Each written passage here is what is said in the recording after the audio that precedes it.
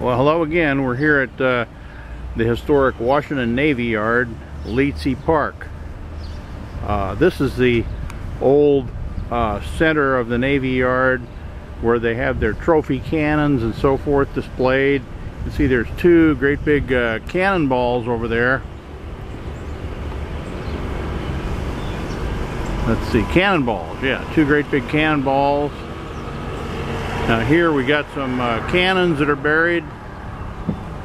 These are old uh, 32 pounders, Navy 32 pounders, and there are four of them that have the sole purpose of uh, holding down the halyards for the flagpole.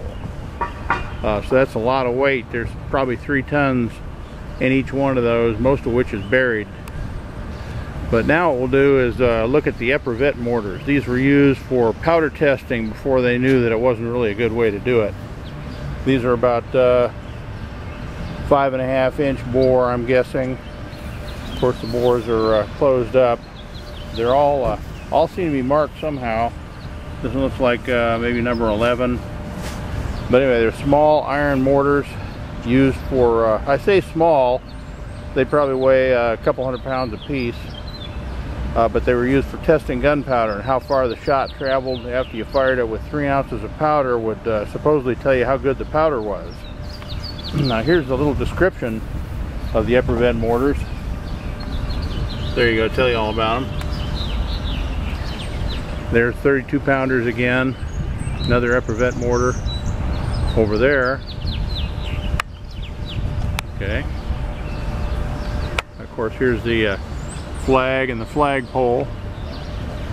Have the U.S. Navy flag and the uh, national ensign up top of the flagpole.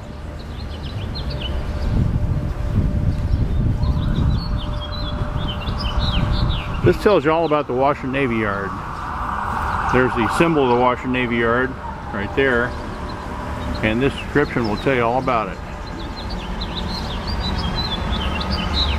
You got that? Okay. Uh, closed and ceased in 1961. And this is the U.S. Navy's oldest shore establishment. Uh, occupies land set aside by George Washington for use by the federal government. And uh, let's see, 1814 British troops occupied Washington.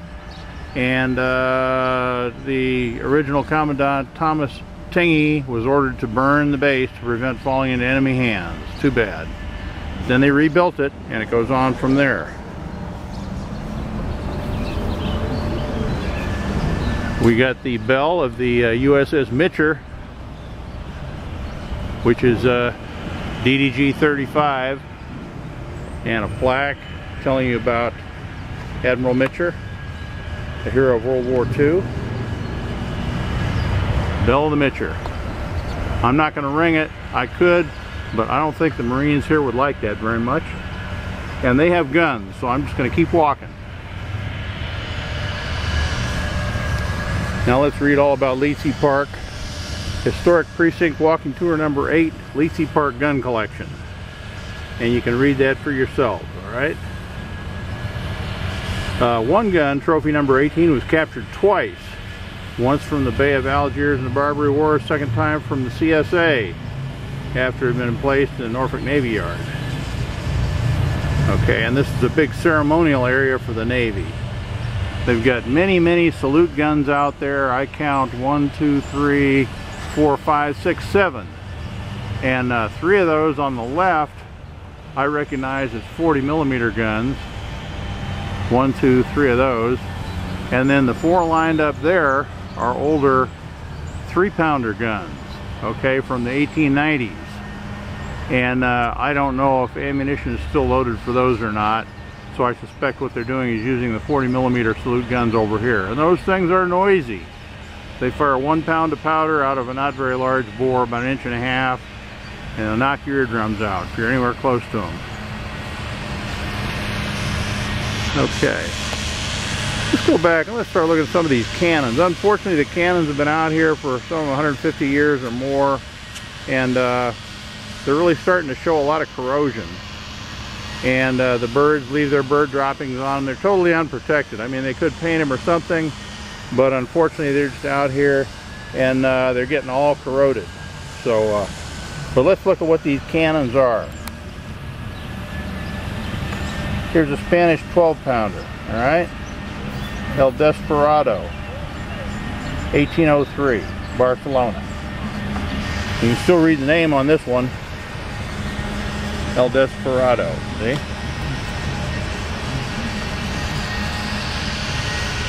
And let's go back here. Unfortunately on this one you can still see the coat of arms of uh, the cipher of uh, King Carlos IV.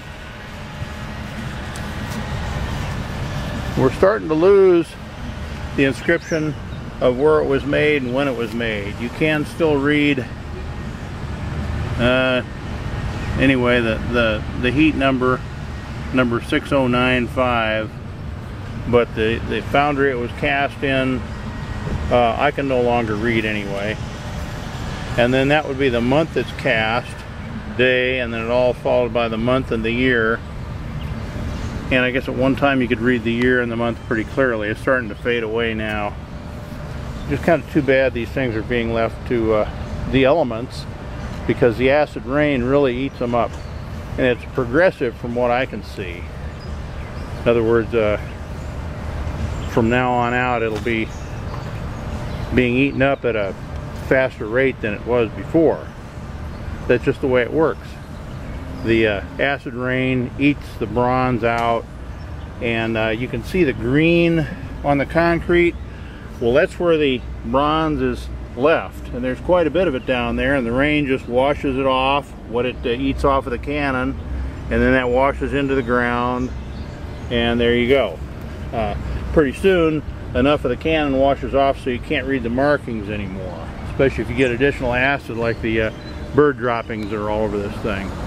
This one was rifled um, long after it was cast. This, this would have been rifled in the 1860s most likely and probably this little inscription right here which I can't quite make out it looks like a 12.0 uh, uh, 12.co probably means 12 pounder short is what it was originally and now it's a rifled gun with a slightly larger bore. And that's an unusual rifling that I don't have a name for yet. We're gonna have to look that up and uh, let you know what type of rifling this was but again the, the gun was cast uh, around 1800 a little after and it was rifled around 1860 to allow it to shoot further and uh, much more accurately And this was done all over Europe, especially in France.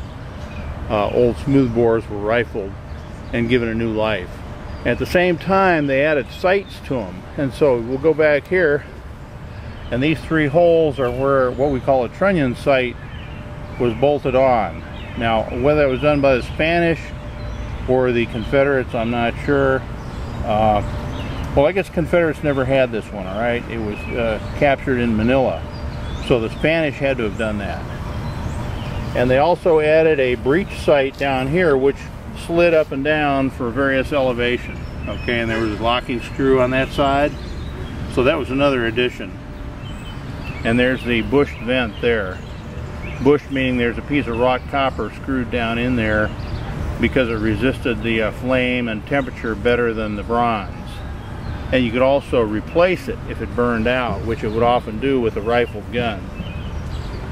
Okay? So again very nice old weapon very historic. Uh, and again too bad the bronze is just being allowed to wash off of it as you see here. You see all the green down there? Well that's what that is is bronze washing off it then runs off the concrete uh, into the dirt and uh, does whatever there to the dirt but see the difference in color this bronze is washed right off of there. Sad situation.